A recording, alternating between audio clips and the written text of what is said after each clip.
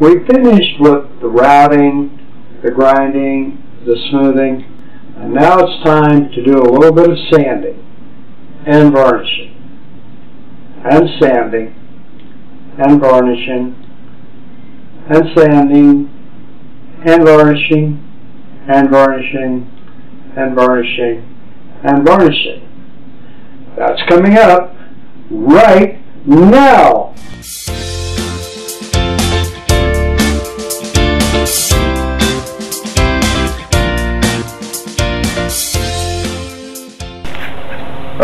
So this one I don't think I need the goggles, it's more uh, it's a finishing sander. It's got a couple of settings on it, I think. No, it's on off. I thought it might be orbital. Just a finishing sander. It is an orbital. And there's uh, other choices on it. So what I'm going to do is use this, uh, I'm using 220 grit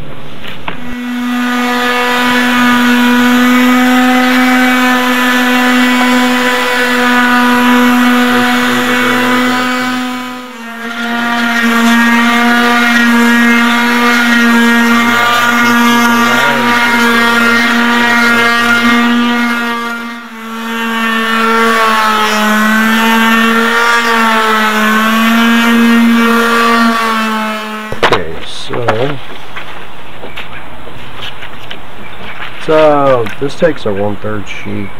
So um, I'm gonna get off my wood because I'm gonna cut on this thing. And mark here. Mark here. Fold it.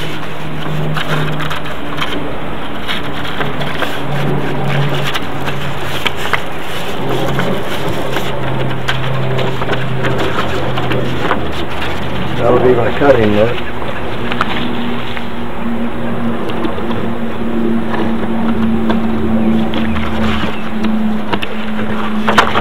Notice I'm not cutting this on my piece.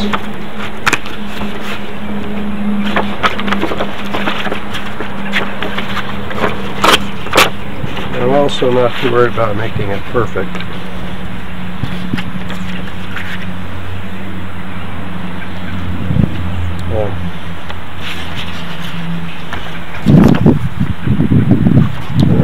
Back first. It's always easier to do the back first.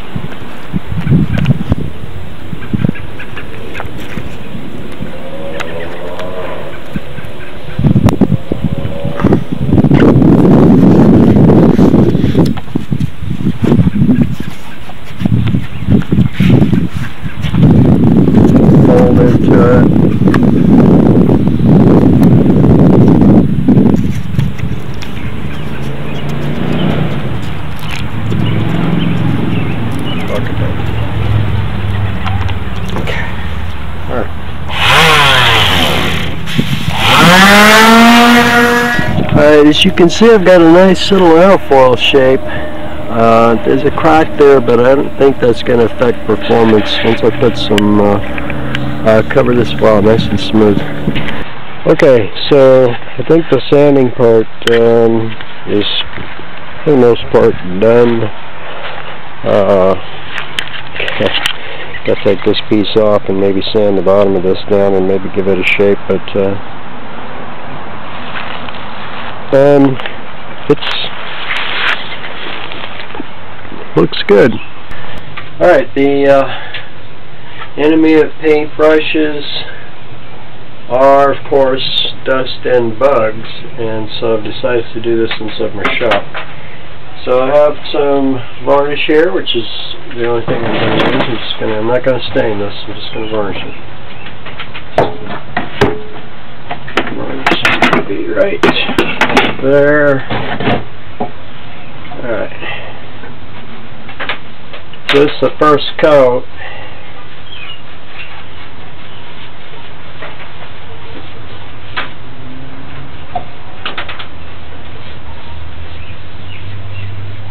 trying not to touch it because my my hands have oils in them.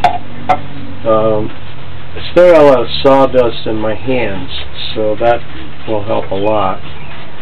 Um, keeping the oils off of this board.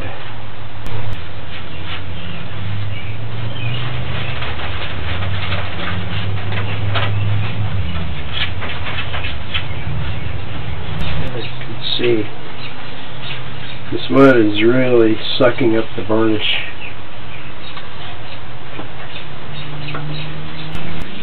Back down here.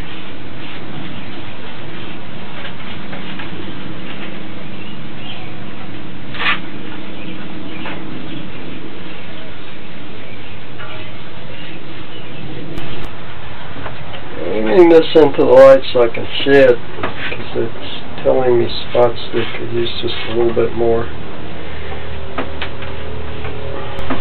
Okay, so little trick, if you know you're going to use the same paintbrush again several consecutive days, you can just take it, just take it and stick inside of a, a plastic bag. Don't crush it up or anything, and then just twist it around like that. And that will keep the uh, that'll keep the varnish, in this case the varnish, dry. If you want, you can have a little piece of wire around it like that and as long as it stays away from your piece, you're ready to go the next day. So we're going to give this stuff a chance to uh, to dry, and then uh, we're going to let this give this a chance to dry, and then uh, we're going to come back in tomorrow. So remember to put the uh, Okay, so we're ready for the second coat. I was just uh, taking a look at this and it feels a little bit sticky. And it looks like the uh, wood has absorbed a lot of the, uh, can you see dry spots here? Um, the wood has absorbed a lot of the varnish. And there's some sticky spots. So I'm going to throw a little bit more varnish on this real quick. Okay, I got the brush, got the varnish here. The brush is still inside the bag, still a little bit wet.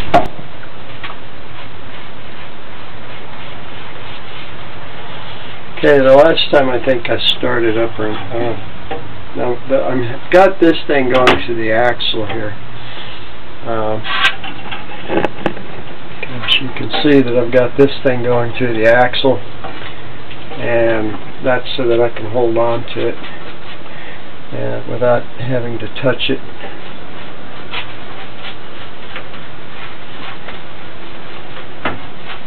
Yeah, the wood really sucked up the varnish in here. Most people I'm pretty sure know how to paint. Notice you, I mean, know that you need to do smooth single strokes and it doesn't matter whether you're going up or down. I mean, the brush is a single stroke and then lift and then go back. You can go back and forth, but each stroke you're lifting the brush to make sure you're not on it a second time. Okay, this is a second coat.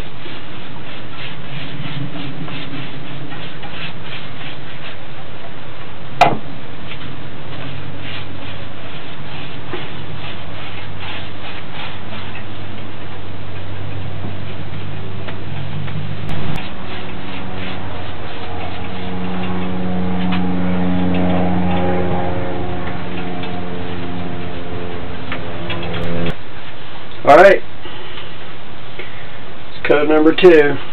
That's.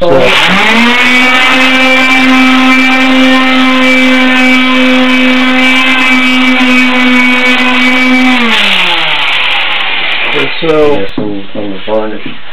and the second thing I've decided to do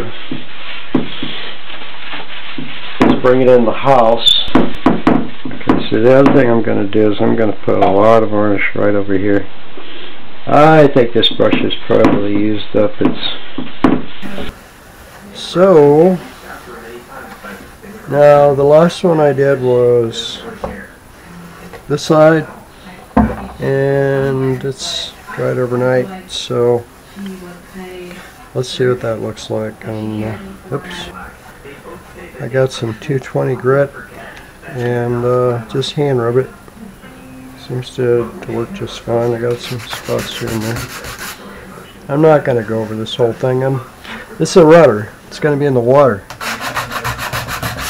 So, you know, we're just putting a bunch of varnish on it. I don't want to put paint on this. I felt a spot over here.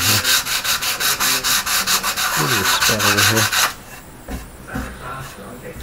Okay, so that's uh,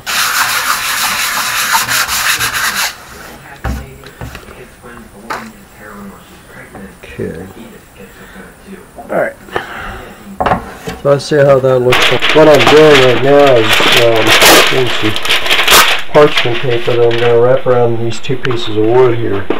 And these two pieces of wood are the um, piece that I'm going to set this uh, varnished bit of wood on top of while I'm working with it. It catches, it's um, really slick stuff, so I don't know if I'm going to be able to get the, the tape. I, know, I don't think I will be able to get the tape to stick to it. I'm going to try and, I'll try. Try and get it started on this tape, but this tape just doesn't like to stick. to parchment paper. So, see what that does. There we go. purpose of the parchment paper is to have something that the uh, varnish, the drying varnish, isn't going to stick to. I'll take the ends of this. Tape won't stick to the paper, but it should stick to itself the main idea here is to just keep the this from coming off. So this will be parchment paper that uh,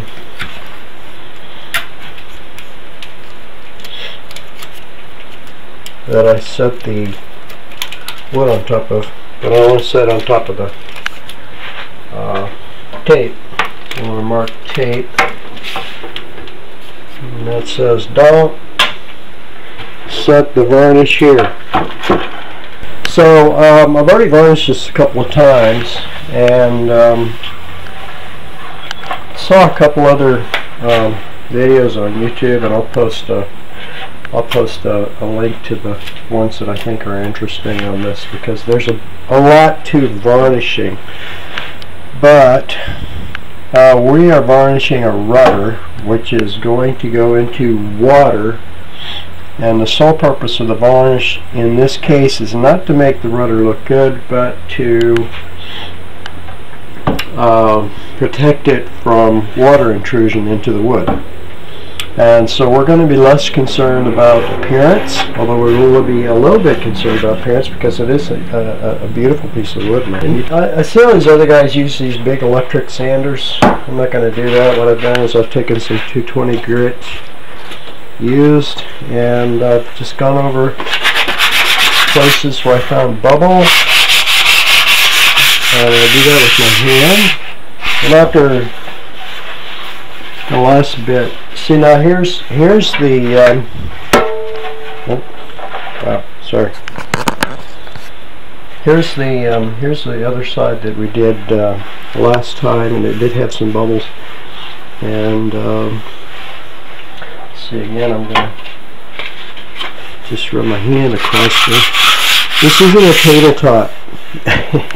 and I'm just going to put this on here. I'm going to work this just in. I know some guys will come in and they go, mm.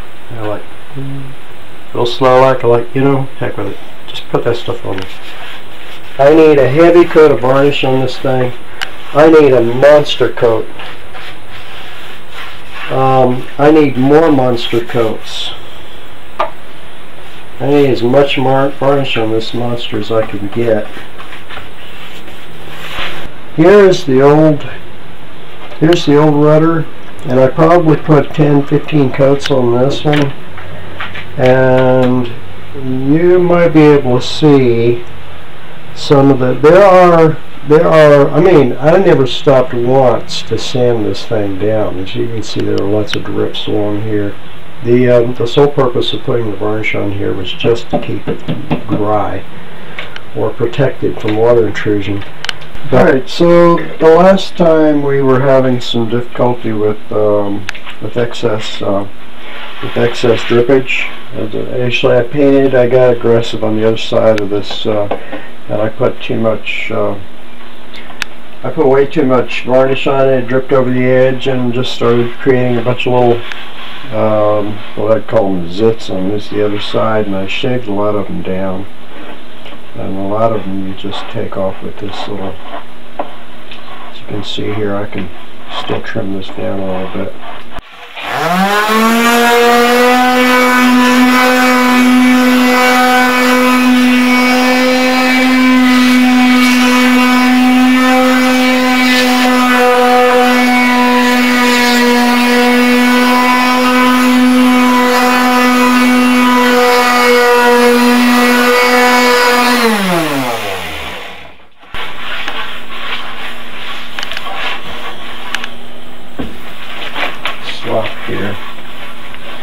Get rid of the dust.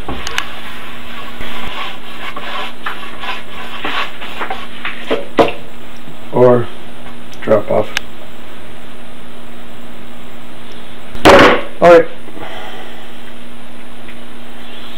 That's it for today. Thanks for watching my program. If you like my videos, be sure and subscribe to my YouTube channel. And for an organized listing of my YouTube videos, go to my website, www.whereamyplacebos.com, and click on videos. Have a great day.